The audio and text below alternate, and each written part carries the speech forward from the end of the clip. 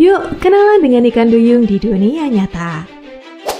Hewan ini sering disebut sebagai inspirasi mitos putri duyung yang sering kita baca di dalam dongeng.